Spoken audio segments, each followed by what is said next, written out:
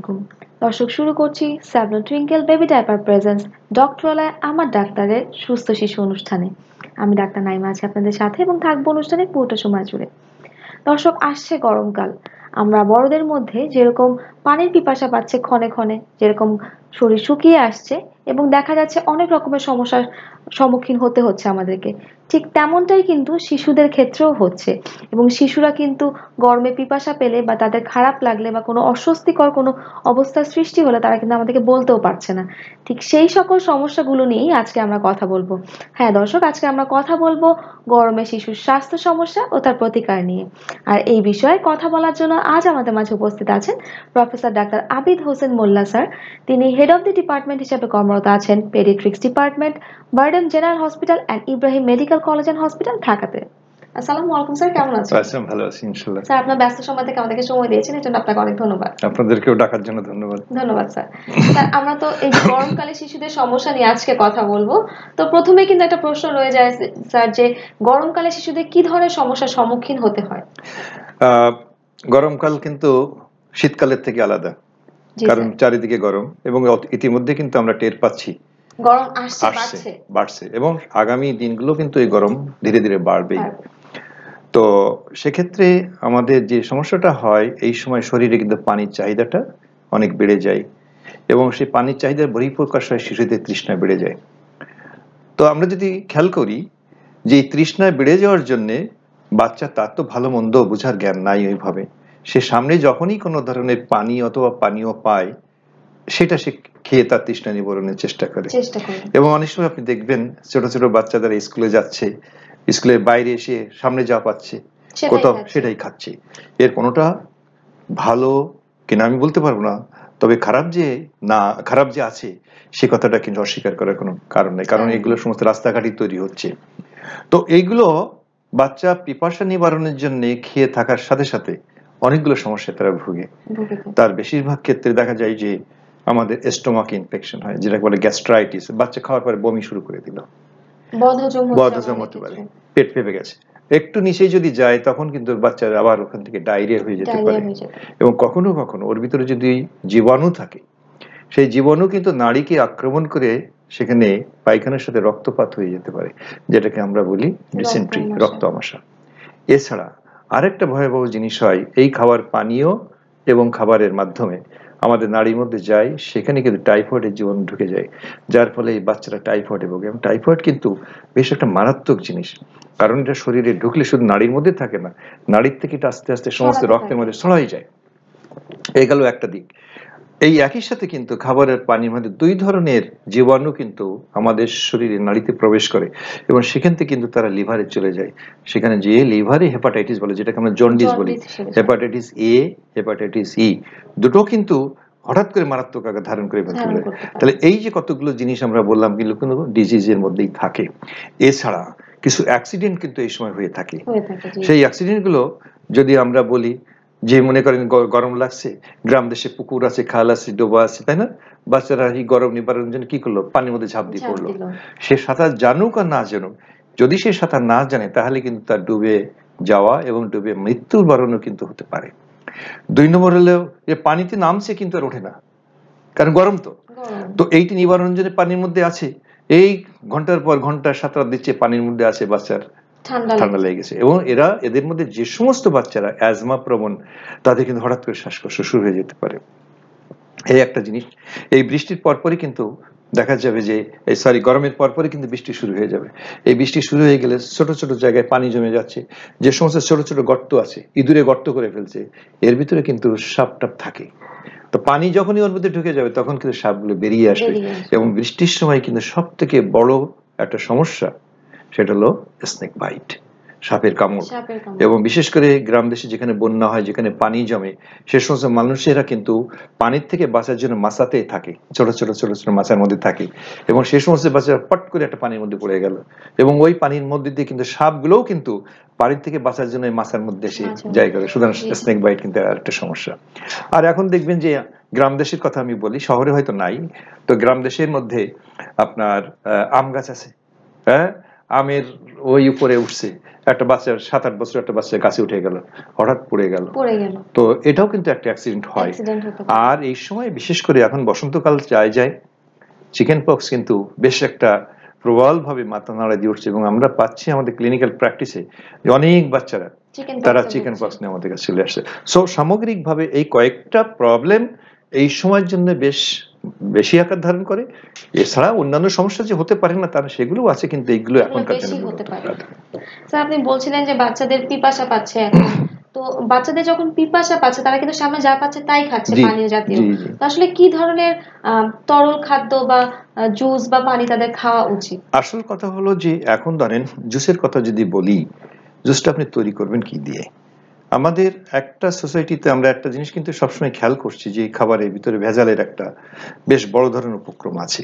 তা আমি মনে করি যে এই সময় বাড়িতে তৈরি করা যে কোনো ধরনের পানীয় অথবা পানীয় মা তৈরি করে দিয়েছে কিছু বড় বোন তৈরি করে দিয়েছে পানি আছে সেখানে লেবুর শরবত হতে পারে এবং যতটা সম্ভব ওই সমস্ত জুস যেগুলো দোকানে পাওয়া যায় এগুলোর থেকে আমাদের ছেলেমেয়েদেরকে যত দূর দূরে সরিয়ে রাখা দেওয়াটা আসলে ভালো। ডাবের পানি খেতে পারে। তো এগুলো আমি রিকমেন্ড করি।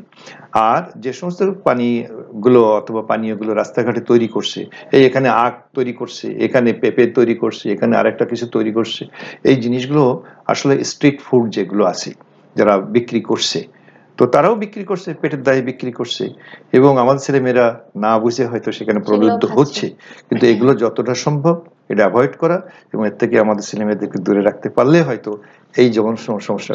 আর আমি যখন দেখি একটা বাচ্চা টাইফয়েডে ভুগে হাসপাতালে ভর্তি হয়েছে কি একটা বাচ্চা জন্ডিসে আক্রান্ত হয়ে তার জীবন একটা ঝুঁকির মধ্যে পড়ে গেছে তখন আসলে খুব খারাপ লাগে।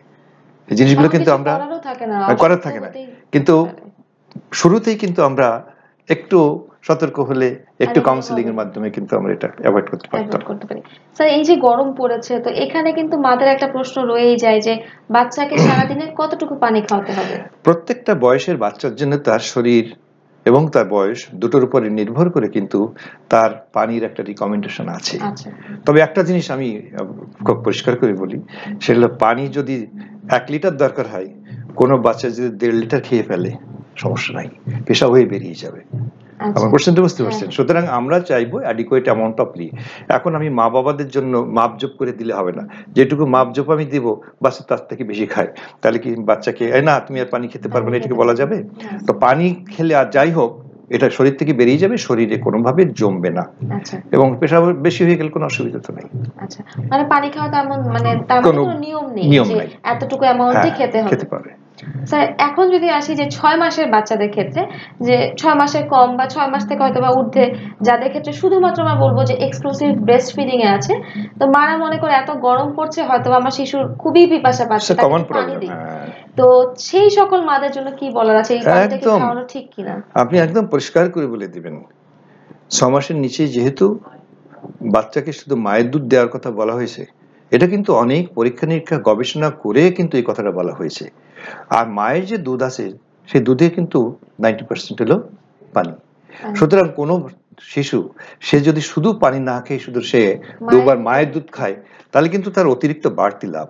সে পানীয়টা পাচ্ছে তার সাথে কিছু পুষ্টি পাচ্ছে যেটা বাচ্চা গ্রোথের জন্য কাজ করছে। কাজ করছে। আর এটা কোনোভাবেই আমরা যদি কোনো সময় আমরা যে নিয়ম আছে যে রুল আছে আমরা সেই রুলের বাইরে যাব না। এ পর্যন্ত শিশু স্বাস্থ্যের উপর যত রকম হুমকি হয়েছে যত রকম গোলমাল হয়েছে তা কিন্তু আমরা নির্দিষ্ট যে রুলস রেগুলেশনকে আমরা ভায়োলেট করেছি তখন কিন্তু আমার একটা বাচ্চা সমস্যা সুতরাং আমরা কোনোভাবেই মায়ের দুধের বাইরে অন্য কোনো পানি অন্য কোনো পানীয় কিছুই দিব না। শুধু মায়ের বুকের শুধু মায়ের কোনো রকম পানি দিব না। যেটাকে আমরা বলি যে শুধুই মাত্র মায়ের বুকের দুধ এক ফোঁটা বা এক বিন্দু পানিও না। স্যার এখন জানব আপনার কাছে যে গরমে তো স্বাভাবিক বাচ্চারা খেলাধুলা বন্ধ করে না তারা খেলাধুলা করছে এবং প্রচুর পরিমাণে ঘামছে। তো এই ঘাম নিয়ে যে ঘরে ফিরছে মারা কিন্তু অনেকেই বুঝে না যে কি করণীয় বাচ্চার ঘামটা কি নিয়ে কি করবে। তো তাদের আসলে ক্ষেত্রে কি বলার আছে? ঘামটা আহ, শরীরে আমি আবার বলি যখন শরীরে ঘাম থাকে ঘামগুলো কিন্তু বসে যায়। তো ঘাম বসে গেলে আমি আবার বলছি যে সমস্ত বাচ্চাদের ঠান্ডা লাগার বেশি প্রবলেম যাদের কারণে কোল্ড অ্যালার্জি থাকে, যাদের একটু শ্বাসের সমস্যা আছে, তাদের কিন্তু বিশেষ করে সব বাচ্চাদেরই শরীরে ঘামটা অতি দ্রুত মুছে দেওয়া উচিত। যদি ঘরে ফ্যান থাকে একটু ফ্যানের নিচে রেখে দিলে শুকায় গেল। বাচ্চা আস্তে আস্তে সেটেল করল। তারপর আস্তে আস্তে সে যদি গোসল করানোর সময় আমরা গোসল করিয়ে দিতে পারি অথবা যদি তার গোসল করার সময় না থাকে তো সন্ধ্যা হয়ে গেছে শরীরটা এটা কুসুম গরম পানি করে গামছা ভিজিয়ে সমস্ত মাথা থেকে পা পর্যন্ত মুছিয়ে দিলাম। তারপর ট্রাই করে দিলাম ধন্যবাদ স্যার। স্যার আমরা ছোট্ট বিরতি নিয়ে আবার ফিরছি। দর্শক আমরা একটা ছোট্ট বিরতি নিয়ে ফিরছি। আমাদের সাথেই থাকুন। স্যাভলন নিয়ে এলো উইটনেস ইন্ডিকেটর যুক্ত সম্পূর্ণ leak proof twinkle baby diaper হেসে খেলে বেড়ে উঠবে আপনার আদরের little star twinkle baby diaper শুরুটা হোক যত্নে। ধন্যবাদ দর্শক আমাদের সাথে থাকার জন্য। স্যার আমরা বিরতিতে যাওয়ার আগে শুনেছি বাচ্চাদের ঘাম নিয়ে আমরা কি করব। এখন আমরা জানব যে স্যার বাচ্চাদেরকে গোসল করানোর কোনো নিয়ম আছে কিনা? সেটা শিশু থেকে বড় পর্যন্ত। গোসল করানো সাধারণভাবে একটা যখন বাচ্চা হয় তার এবং এটা কনসেনসাস একটা রিকমেন্ডেশন যে জন্মের পরে আটচল্লিশ ঘণ্টা গোসল না করাতে বলা হয়েছে। শরীরটা কুসুম গরম পানি দিয়া কোনো কাপড় দিয়ে সুন্দর করে মাথা থেকে পা পর্যন্ত মুছে দেওয়া যায়। আচ্ছা। তারপর থার্ড ডে অনওয়ার্ড তাকে কিন্তু গোসল দেওয়া যায় স্বল্প সময়ের জন্য। কিন্তু সবসময় গরম পানি দিয়ে দেওয়ার কথা বলা হয় যাতে করে ওই নবজাতক অথবা নিউবর্ন যে বেবিটা আছে তার শরীরটা যাতে আহ, ঠান্ডা না না লাগে। আচ্ছা। কিন্তু ওই বাচ্চা যত বেশি বড় হবে তত কিন্তু গোসল করার ব্যাপারটা তার জন্য স্বাভাবিক এবং সাবলীল হবে। তো সাধারণভাবে আমরা গোসল করাবো। যদি বাচ্চা ছোট থাকে কুসুম একটু কুসুম গরম পানি থাকলে কিন্তু অসুবিধা নাই। এবং মাথায় যে টেম্পারেচার পানি দেবো গায়ে ঠিক একই সময় অনেকে করে কিন্তু গায়ে গরম পানি দেয় আর মাথায় দেয় ঠান্ডা পানি। কেন? যে ঠান্ডা মাথায় গরম পানি দিলে যদি কোনো অসুবিধা হয়। আসলে হ্যাঁ এই যে শরীরের ভিতরে দুই রকম টেম্পারেচারের পানি দিলে কিন্তু তার টেম্পারেচার ভ্যারিয়েশনের জন্য তার একটা ডিসকমফোর্ট কিন্তু তার বাড়তে পারে। তো আমাদের মতো যে দেশগুলো গরম বেশি সে সমস্ত দেশে আসলে গোসল প্রতিদিন করানোই উচিত। অন্তত কমপক্ষে একবার। কারণ চারিপাশে ধুলা বালি এটা ওটা থাকে তো। তো সুতরাং এই টেম্পারেচারের সাথে সঙ্গতি রেখে একবার যদি কুসুম গরম পানি দিয়ে গোসল করা যাওয়া দেওয়া যায় তাহলে অসুবিধা নেই। আর দুই নম্বর হলো অনেক মা বাবা তার বাড়তি সতর্কতার জন্য ইনফেকশন প্রিভেনশনের জন্য এই পানির মধ্যে স্যাবলন এটা ওটা মিশায়। এটা। হ্যাঁ মিশায়। এটা আসলে কোনো দরকার নেই। শুধু পানি দিয়ে শুধু পানি দিয়ে চলে যায়। আচ্ছা। স্যার আমরা গরমকালে শিশুর স্বাস্থ্য সমস্যার মধ্যে আপনার কাছে শুনেছি জন্ডিস একটি কারণ। তো এখন জানব আপনার কাছে যে জন্ডিসের লক্ষণগুলো কি এবং মা বাবা কখন সন্তানকে ডাক্তারের ডাক্তার। শরণাপন্ন করবে জন্ডিস মানে হলো সাধারণভাবে তার চোখটা পেশাবটা হলুদ হয়ে যাওয়া। কিন্তু জন্ডিস যখন মানে হলো এই বাচ্চাটার লিভারে কোনো ভাইরাস দিয়ে আক্রান্ত হয়েছে। তো ভাইরাস আজকে যদি আক্রমণ করে আজকে কিন্তু তার চোখ হলুদ হয়ে যাবে না। তো চোখ হলুদ হতে তিন চার দিন লাগবে কিন্তু তার আগ পর্যন্ত এই বাচ্চার কিছু কিছু সিমটমস থাকে। সেই সিমটমসগুলো হতে গায়ে কেমন একটু একটু জ্বর আসছে শরীরটা ভালো লাগছে না করছে। ম্যাজ ম্যাজ করছে। খেতে চাচ্ছে না খাবার দিলে বমি করছে। এই যে বমি করছে অতিরিক্ত বমি এটা কিন্তু হেপাটাইটিস অথবা জন্ডিসের একটা আর্লি ম্যানিফেস্টেশন এবং একটা লক্ষণ। তারপরে এইভাবে আস্তে আস্তে আস্তে আস্তে বাড়তে বাড়তে তিন দিন, চার দিন পরে দেখা হলো, আরে, ওর পেশাবটা অনেক হলুদ হয়ে গেছে এবং ও বলছে, মা, আমার পেশাবটা অনেক হলুদ হয়েছে। মা ওটা খেয়াল করলেন, তার সাথে সাথে মা যদি চোখটাও খেয়াল করেন, তাহলে দেখা যাবে যে তার চোখের যে সাদা অংশটা, এটাও কিন্তু হলুদ হয়ে গেছে। তার মানে এই জন্ডিস হয়ে গেছে। তারপরে দেখা যাবে আস্তে আস্তে ক্রমাগতভাবে তার পেটে ব্যথা করছে। পেটের ডান পাশে ব্যথা করছে কি, পেটের মাঝখানে উপরের দিকে ব্যথা করছে। এই জিনিসগুলো হতে হতে বমি বেড়ে যাচ্ছে, কিছু খাচ্ছে না হ্যাঁ? ক্ষুধামন্দ হয়ে গেছে। হঠাৎ করে এত ক্ষুধামন্দ হয়েছে এটাও কিন্তু জন্ডিসের একটা লক্ষণ। তো এগুলো যদি কোনো রকম জটিলতা না হয় অ্যাকিউট মানে লিভার ইনফেকশনের বাইরে তাহলে এগুলো। কিন্তু যদি আবার জটিলতা হয়ে যায় তাহলে কিন্তু আরও অনেক সমস্যা হয়ে যায়। যখন দেখা যায় যে এই জন্ডিসের প্রভাবে লিভার ইনফেকশনের প্রভাবে বাচ্চার ব্রেনটাও ক্ষতিগ্রস্ত হচ্ছে। তো সেগুলো কিন্তু খুব রেয়ার কিন্তু সম্ভাবনা থাকে। অনেক সময় জন্ডিসের যদি লিভারের কোষগুলো অনেক মাত্রায় ড্যামেজ হয়ে যায়, ক্ষতি হয়ে যায়, তাহলে কিন্তু যে কোনো জায়গাতে রক্তপাত হতে পারে। এগুলো কিন্তু বলা হয় ফালমিনেন্ট হেপাটিক ফেলিওর কিন্তু সোজা কথায় যদি আমি বলি, যেটা মারাত্মক ধরনের জন্ডিস তো এইগুলো হলে, এখন এইগুলো তো যখন হয়ে যায়, তখন তো ডাক্তারের কাছে নিয়ে যেতেই হবে তার জন্য চিকিৎসা করানোর জন্য। কিন্তু আমি আগেই বলেছি, যদি ওই যে একটু বাড়তি সতর্কতা যদি থাকতো তাহলে কিন্তু বাচ্চা যদি আনইউজুয়াল এই ফুডগুলো কন্টামিনেটেড ফুডগুলো না খেত তাহলে কিন্তু জন্ডিস হওয়ার সম্ভাবনাটা অনেক কমে যেত।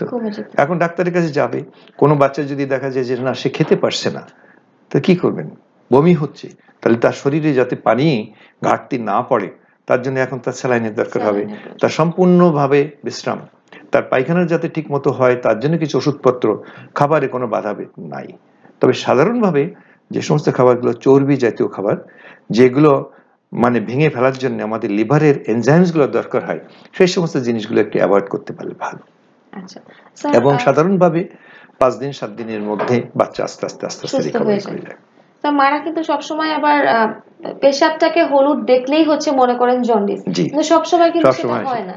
তো আরও কি কি কারণ থাকতে পারে এই পেশাব একটা আমি আমরা যদি খেয়াল করি যে শরীরে যদি পানি কোনো কারণে কম হয় যেমন রোজার সময় পেশাবের রংটা কেমন হয়? কনসেন্ট্রেটেড যে গাঢ় হলুদ হয়ে যায়। আবার আপনি যদি প্রতিদিনের কথা আমি চিন্তা করি সকালে ঘুমিতে ওঠার পরে পেশাবটা কেমন হয়? হলুদ হয়। তাহলে দেখা যাচ্ছে মানে পেশাবটা হলুদ হওয়া মানেই কিন্তু জন্ডিস না। এর মাধ্যমে যদি কোনো বাচ্চা অথবা কোনো মানুষ যদি ডিহাইড্রেটেড থাকে অর্থাৎ তার শরীরে যদি পানির ঘাটতি থাকে স্বল্পতা দেখা দেয়। তাই না? অনেকক্ষণ ধরে পেশাব চেপে রাখছে। এখন কি হয়?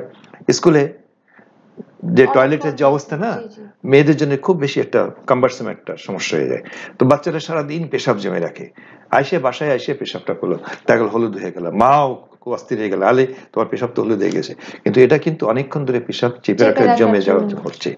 তো সুতরাং এটাই হলো আমাদের মাদের জন্য বলতে হবে যে মা আপনার বাচ্চা পেশাব হলুদ হলেই কিন্তু আপনি অস্থির হয়ে জন্ডিস হয়েছে। এই দুশ্চিন্তায় ভুগবেন না। সাথে সাথে যদি আপনি চোখটা খেয়াল করেন তাহলে সেটা যদি হলুদ হয় তাহলে কিন্তু জন্ডিস লিভারে ইনফেকশনের জন্য হয়েছে এটা বুঝতে হবে। এবং তার সাথে যদি বমি এবং অন্যান্য মানে অন্যান্য উপসর্গ যেগুলো থাকে তাহলে তো ডাক্তারের পরামর্শ নিতে হবে।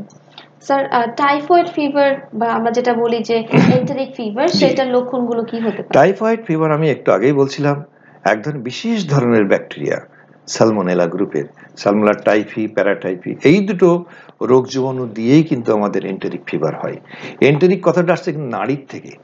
অর্থাৎ এই টাইফয়েডের জীবাণুটা নাড়িকে সংক্রমণ করে। নাড়ির গায়ে ঘা তৈরি করে ফেলে।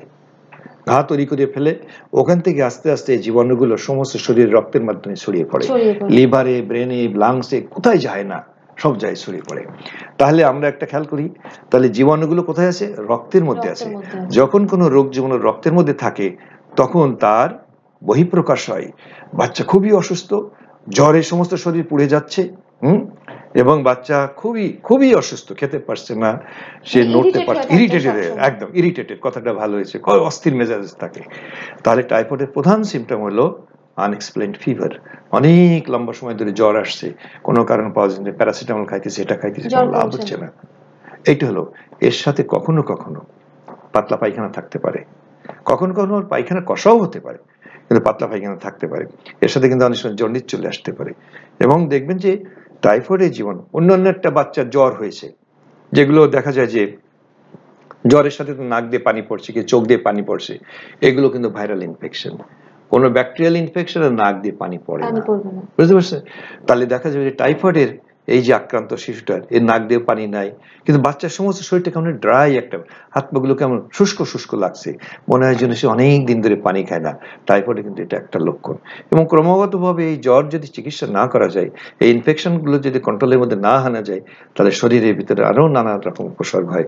বিশেষ করে পেটের মধ্যে লিভার স্প্লেন এগুলো বড় হয়ে যায়। তো তারপরে বাচ্চা এরকম হচ্ছে অসুস্থ হচ্ছে সাত দিন আট দিন পার হয়ে যাচ্ছে বাচ্চা কোনোভাবে জ্বর কমছে না। তখন যদি পরীক্ষা করা হয় অথবা তার আর্লিও করা যায়। কোনো ডাক্তারের কাছে যখন সে নিয়ে যায় বাচ্চাটাকে ডাক্তার যদি আগের থেকেই চিন্তা করে যে আমার দেশে প্রেক্ষাপটে এটা টাইফয়েডের একটা টাইফয়েড কিন্তু খুবই কমন একটা প্রবলেম কোনো বাচ্চা যদি পাঁচ দিন ছয় দিন জ্বর যাচ্ছে না কোনোভাবে তখন কিন্তু এটা চিন্তায় আনতেই হবে। তখন তার জন্য যে প্রয়োজনীয় রক্তের পরীক্ষা আছে সেগুলো করলে কিন্তু বেশিরভাগ ক্ষেত্রে টাইফয়েডের জীবন ধরা পড়ে। স্যার আমাদের দেশে কিন্তু একটা কমন সমস্যা আছে যে আমরা ফার্মেসিতে যাচ্ছি এই ধরেন জ্বর এসেছে। এখন ফার্মেসি থেকে বলছে আমার বাচ্চার জ্বর একটা অ্যান্টিবায়োটিক দেন। অ্যান্টিবায়োটিক দিচ্ছে। এই জন্য কিন্তু বাচ্চাদের মধ্যে খুবই অ্যান্টিবায়োটিক রেজিস্ট্যান্স দেখা যাচ্ছে। খুবই খুবই। এটা আমাদের বাবা মাদের জন্য আপনার কি বলা আমি যে কথাটা বলতে চাই যে আমরা ওষুধপত্র কেন খাই? বিশেষ করে অ্যান্টিবায়োটিক আমরা খাই কোনো রোগ জীবাণু মারার জন্য। কিন্তু সেটা যদি আমরা না জানি কোন রোগ জীবাণু সেটা অজানা রেখে কিন্তু আমরা যদি একটা অ্যান্টিবায়োটিক খাই, তাহলে এই অ্যান্টিবায়োটিকের প্রভাবে ওই বাচ্চার অসুস্থতা তো ভালো হবেই না। বরং আমাদের চারিপাশে যে সমস্ত জীবাণুগুলো আছে, সেই জীবাণুগুলো কিন্তু ওই অ্যান্টিবায়োটিকের প্রভাবে কিন্তু রেজিস্ট্যান্ট হয়ে যাবে। তখন দেখবেন মারাত্মক ইনফেকশনে যখন ভুগছে, তখন দেখবেন যে যে অ্যান্টিবায়োটিক আপনি দেন না কেন, এটার কোনো কাজই রাখছে না। সেই জন্য আপনাদের প্রতি আমার একটাই অনুরোধ হলো, যতক্ষণ পর্যন্ত একজন ডাক্তার আপনার বাচ্চার অসুস্থতা নিরূপণ করে কোনো অ্যান্টিবায়োটিক না দেন ফার্মেসি ওভার দি কাউন্টার দোকান থেকে ওষুধের দোকান থেকে কোনো ধরনের অ্যান্টিবায়োটিক কিনে আপনার বাচ্চাকে প্লিজ প্লিজ খাওয়াবেন না। স্যার আমরা একটা ছোট্ট বিরতিতে যাচ্ছি। দর্শক আমরা একটা ছোট্ট বিরতি নিয়ে ফিরছি আমাদের সাথেই থাকুন। স্যাভলন নিয়ে এলো ওয়েটনেস ইন্ডিকেটর যুক্ত সম্পূর্ণ leak proof twinkle baby diaper হেসে খেলে বেড়ে উঠবে আপনার আদরের little star twinkle baby diaper শুরুটা হোক যত্নে। ধন্যবাদ দর্শক আমাদের সাথে থাকার জন্য। স্যার এখন আমরা আপনার কাছে শুনব ডায়রিয়া নিয়ে। বাচ্চাদের জন্য তো স্যার ডায়রিয়াটা খুবই কমন কোনো কিছু খেলে হয়তো বা বদহজম হয়ে ডায়রিয়াটা হয়ে যাচ্ছে। তো আসলে কতবার পায়খানা হলে আমরা বলতে পারি যে বাচ্চাটা ডায়রিয়াতে ভুগছে? এটা খুবই একটা কঠিন কোশ্চেন তবে একটা জিনিস হলো যে মা তার বাচ্চাকে যখন লালন পালন করছেন মা জানেন তার বাচ্চার পায়খানার কনসিস্টেন্সি? কেমন। কোনো মা যদি দেখেন যে তার বাচ্চা আগে যে কনসিস্টেন্সিতে পায়খানা করতো, এখন দেখা যাচ্ছে পায়খানা খুবই পাতলা হচ্ছে।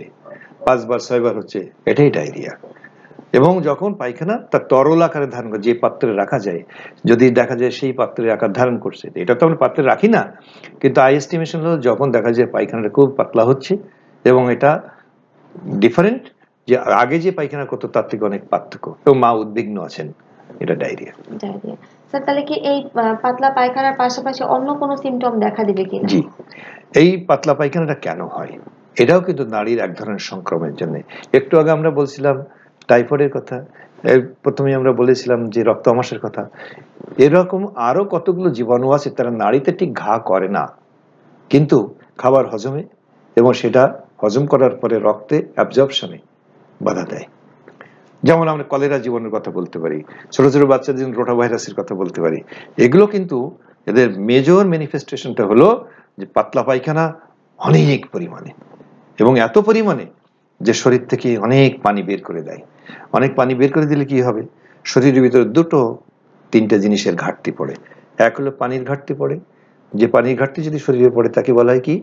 ডিহাইড্রেশন পানি শূন্যতা ডেভেলপ করে গেছে। দুই নম্বর হলো এই যে পাতলা পায়খানার সাথে শরীর থেকে কিছু কিছু লবণ বেরিয়ে যায় যেমন সোডিয়াম বেরিয়ে যায় পটাশিয়াম বেরিয়ে যায় এবং এর মধ্যে পটাশিয়াম অনেক বেরিয়ে যায় সোডিয়ামও বেরিয়ে যায়। তাতে করে কি হয়? এইগুলো বেরিয়ে যাওয়ার জন্য বাচ্চা অনেক দুর্বল হয়ে যায়। ইলেকট্রোলাইট ইমব্যালেন্স হয় আর তিন নম্বর হলো যে এগুলোর সাথে জিঙ্ক এবং অন্যান্য পুষ্টিকর জিনিসও বেরিয়ে যায় যে কারণ জন্য বাচ্চা ওয়েস্টিং হয়ে যায়। তাহলে এখানে একটা কথা কিন্তু আমাদের ভালো করে খেয়াল করতে হবে অনেক পানি বেরিয়ে যায়। আমরা জানি যে এই পানিগুলো কিন্তু রক্তের ভলিউমটাকে নির্ধারণ করে। এখন কোনো মানুষের যদি দেখা যায় তার রক্তের ভলিউম এই পানি শূন্যতার জন্য কমে গেছে, তাহলে কিন্তু শরীরের অনেক অঙ্গ প্রত্যঙ্গ রক্ত স্বল্পতায় অথবা রক্ত চলাচলে ভুগে থাকে। এর ভিতরে একটা ইম্পর্টেন্ট জায়গা হলো ব্রেন। সেই জন্য দেখা যায় যে কোনো বাচ্চা যদি খুব অনেক মারাত্মক পানি শূন্যতায় ডেভেলপ করেছে, সে অনেক অজ্ঞানের মতো হয়ে যায় তা জ্ঞান থাকে না। দুই নম্বর যে জায়গাটা হলো সেটা হলো খুব ইম্পর্টেন্ট সেটা হলো আমাদের কিডনি কিডনিতে যদি পানির প্রবাহ কমে যায় তাহলে কিন্তু এই বাচ্চাটা পেশাব কমে যায়।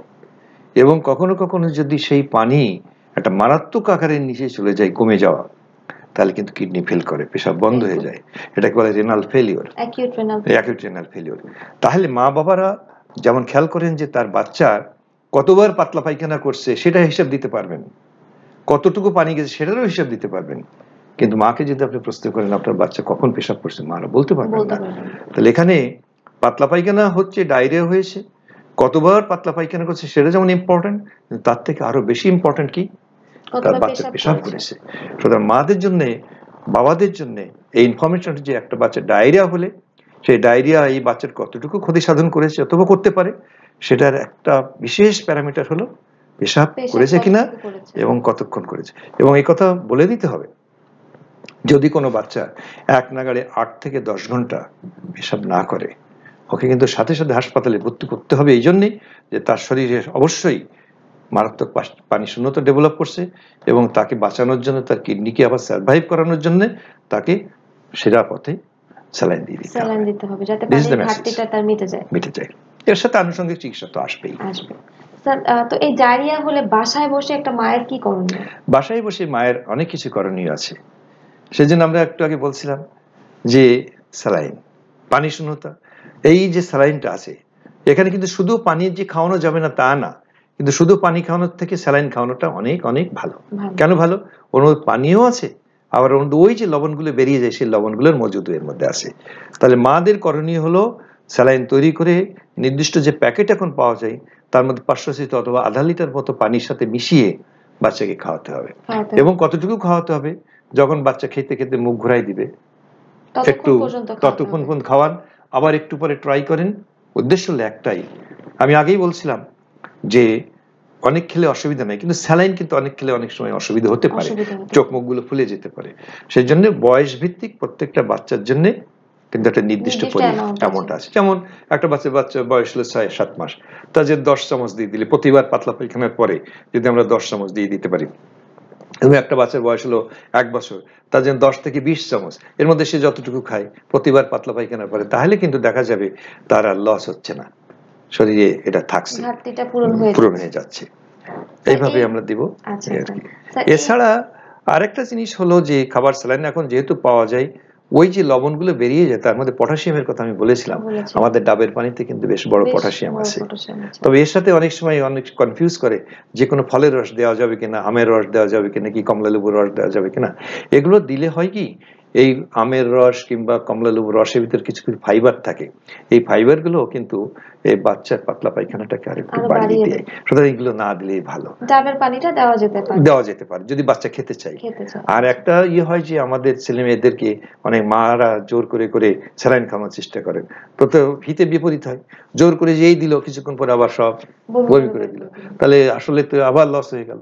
তো সেই জন্য জোরাজোরি করে কিছু যতটুকু বাচ্চা খেতে পারবে ঠিক ততটুকুই দেওয়া উচিত স্যার এই গরমে শিশুদের যেসব সমস্যাগুলো হয় আপনার কাছে আমরা শুনলাম যে জন্ডিস হতে পারে টাইফয়েড হতে পারে ডায়রিয়া হতে পারে আরও অনেক ধরনের সমস্যা হতে পারে।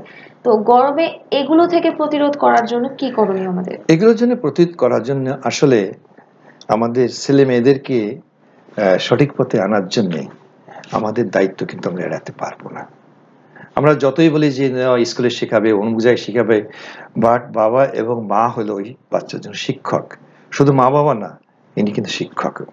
আপনি আজকে দেখেন, আমাদের যে সমস্ত ছেলেমেয়েরা স্কুলে যাচ্ছে, আমরা বাবা মা হিসেবে তাদের জন্য কতটুকু সময় বরাদ্দ করেছি। আমরা যদি আমাদের ছেলে মেয়েদেরকে নিয়ে পাশে বসাই, পরম মমতায় যদি তাদের সাথে কথা বলি তা কি আমার কথা শুনবে না? আমরা যদি তাদের কথা বলার সময় অস্থিরতা প্রকাশ না করি তাড়াহুড়ো না করি কারণ তাড়াহুড়ো করলে বাচ্চারা পাজলড হয়ে যায়। অস্থির হয়ে যায়। তো সেই জন্য সময় নিয়ে কারণ আমি যে পরিশ্রম করছি কার জন্যে? আমার বাচ্চার জন্যেই। তো সেই বাচ্চাকে যদি একটু বাড়তি সময় আমি তা দেই আমার নিজস্ব ক্যারিয়ারটাকে একটু কম্প্রোমাইজ করি ওর দিকে একটু তাকিয়ে। তো প্রথম যে জিনিসটা হলো পাশে বসানো। পরম মমতায়। আমি আবার বলছি পরম মমতায়। আমি যে কথাগুলো বলব তার ভিতরে যদি মানে ইয়ে থাকে ইমোশন থাকে, মমতা থাকে। যদি আমি বলি যে, বাবা, আমরা আজকের থেকে আর বাইরে খাব না, ঠিক আছে? আমরা বাইরে খেলে এই হতে পারে। এই যে কাউন্সিলিংটা সময় নিয়ে ফিডব্যাক নিয়ে যদি আমরা কথা বলি, কারণ এই পরিবর্তনটা আনতে গেলে ফ্যামিলির থেকে আনতে হবে। সেই ফ্যামিলির যদি আমাদের ইনস্টিটিউশন হয়, আর বাবা মা যদি সেই ইনস্টিটিউশন শিক্ষক হন, যেখানে পরম মমতা আছে, মায়া আছে বুঝতে হবে এই বাচ্চার জন্য যে ইমোশন দরকার যে ভালোবাসার দরকার যে মমতা দরকার বাবা মা হিসেবে আর কে দিবে আপনি আমাকে বলেন? কেউ দিবে না। তাহলে সেটা যদি আমি করি তাহলে আমার সন্তান আমার কথা শুনবে না? অবশ্যই শুনতে সে বাধ্য আমার মনে হয় যে তাই যদি হয় তাহলে আমরা পরিবার থেকে এটা শুরু করি যে আমরা বলব যে আমি যে আমরা যে খাবার তোমার জন্য করে দেবো এর বাইরে তোমার যদি ক্ষুধা লাগে তোমরা আমাকে জানাও দরকার হলে আমরা আবার দিব। কিন্তু তোমরা পারতপক্ষে বাইরের খাবার অ্যাভয়েড করো। তাহলে এই জিনিসগুলো কিন্তু যে রোগগুলোর কথা আমরা বললাম তার প্রত্যেকটা কিন্তু অ্যাভয়েডেবল প্রতিরোধযোগ্য। সুতরাং সেটা কিন্তু একমাত্র এই কাউন্সিলিং এর মাধ্যমে ছাড়া হবে না। জোর করে বকা দিয়ে কোনো লাভ হবে না। ভালোবাসা যদি তার মধ্যে না থাকে তাহলে কোনো কথা ছেলেমেয়েরা শুনবে না। ধন্যবাদ স্যার। আশা করছি আমাদের দর্শক আপনার কথাগুলো থেকে অনেক বেশি উপকৃত হয়েছে। দর্শক দেখতে দেখতে আজকে আমার অনুষ্ঠানের শেষ পর্যায়ে চলে এসেছি। আবারও দেখা হবে। সবাই ভালো থাকুন সুস্থ থাকুন এবং নিয়মিত আমাদের ডক্টরের সাথেই থাকুন। আল্লাহ হাফেজ। স্যাভলন নিয়ে এলো ওয়েটনেস ইন্ডিকেটর যুক্ত সম্পূর্ণ leak proof twinkle baby diaper হেসে খেলে বেড়ে উঠবে আপনার আদরের little star twinkle baby diaper শুরুটা হোক যত্নে।